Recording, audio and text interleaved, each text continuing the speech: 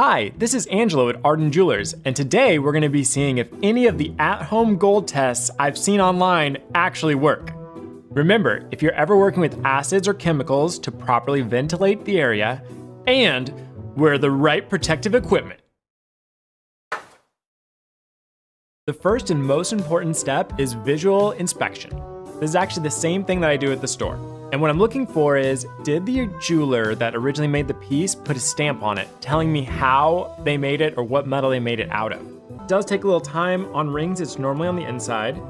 This one stamped 14K, which means it could be made out of 14 karat real gold or it could be a fake that someone stamped 14K. So we'll do more testing on this. Next is this bracelet.